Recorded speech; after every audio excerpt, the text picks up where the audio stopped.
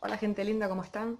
Bueno, nada, hoy mi primer video les quiero hablar de unas cosas que bastante no me gustan y últimamente están creciendo.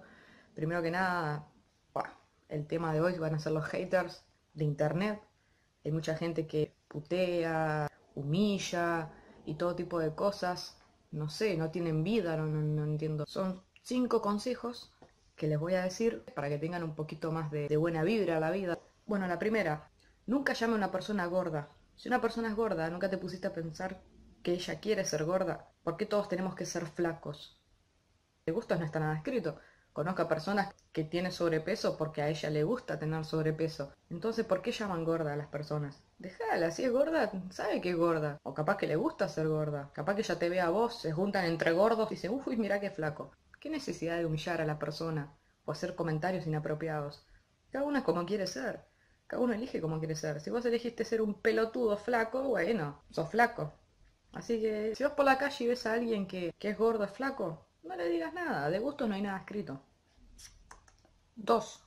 Dejen de putear por internet, uh, sos un puto, te voy a matar, no sé qué, qué necesidad de hacer eso. Porque algún día nunca sabes cuándo te vas a encontrar realmente a esa persona en la calle y estoy segurísima que no va a pasar nada vas a arrugar. Nunca ataques, el karma existe. Comenten en los comentarios la gente que cree en el karma. Deja de putear. ¿Qué necesidad? Esa envidia, la mala onda siempre. Sos, un aburrido de mierda. Métete en tus cosas o que no tenés vida, que le estás molestando a los demás. Cada uno hace lo que quiere. Ahora, cada uno puede pensar, cada uno hace lo que quiere. Bueno, yo quiero putear por internet. Tanto tiempo al pedo tenés. ¿Qué es envidia?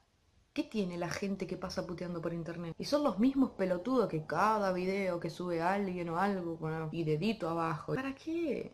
¿Qué necesidad? Alegrate que alguien hace algo. Yo en tu caso me podría pensar, te educaron para el orto. Es así. Tu viejo te educaron para el orto. Sos un negro de mierda que no tenés vida y puteás. Así que un poquito más de... Ayuda, ayuda. Así te ayudan a vos, ayuda. 3. Nunca esperes nada de nadie. Hay un dicho que a mí me gusta, nacimos solos, vamos a morir solos. Nunca esperes nada de nadie. Levantate, haz algo por tu cuenta. O tenés que estar esperando a que tu madre te haga algo, te ayude. Tenés que aprender a ser independiente. Imagínate si un día tu madre no está. O tu amigo, o el que te ayude, o el que estás esperando algo de alguna persona. Y si algún día no está, hay que aprender a ser independiente. 4. Deja de buscar cosas de la gente.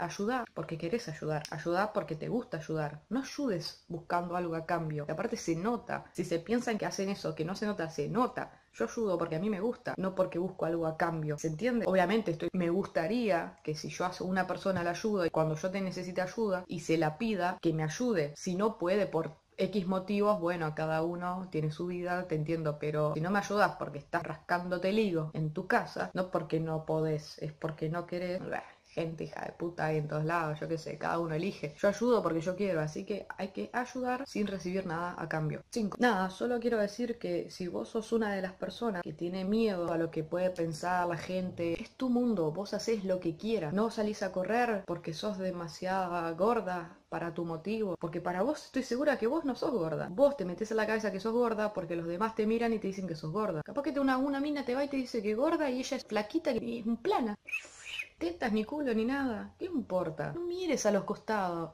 Da tu vida, tu camino. Haz lo que a vos te gusta hacer. Si tenés miedo de empezar un canal o algo, uy, porque va a venir mi hermano, se va a reír de mí, porque no voy a tener éxito. ¿Y qué le importa a tus hermanos? No tienen vida tus hermanos también. Son los de esas personas que no tienen vida, por putearte. Haz lo que vos quieras hacer. Si querés comerte una hamburguesa así de grande en el McDonald's, anda y cómetela. Si te miran raro, ¿qué te miran raro? ¿Qué importa? Si te miran a vos, es porque no tienen vida. Conozco a gente que cuando vas caminando lo mirás o algo y ellos no te miran. ¿Por qué? Porque les chupa un huevo. Son de esas personas que les chupa un huevo. ¿Qué mierda le dicen los, los demás o cómo lo miran? Haz así, olvídate de los demás. Que te digan lo que quieran. Bueno, nada, gente, este fue mi primer video. Eh, espero que les sirva como ayuda. A ver si un poquito reflexionan. Si sos una de las personas que piensa igual que yo, ponele dedito arriba y, y compartilo para que compartiendo el video y cuantas más personas lo vean, reducimos el nivel de la gente que no tiene vida. Y si sos uno que no tiene vida y está mirando el video, ni siquiera te voy a pedir que pongas dedito arriba. Ya sé que vas a poner dedito abajo, así que nada. Nos vemos en el próximo video que no sé cuándo lo voy a grabar. Perdonen por la calidad y por la luz. La verdad que, en Europa ya se está haciendo de noche. Así que bueno, nada, lo importante es lo que quise transmitir. Pásenla bien y, y vayan a hacer algo productivo hoy.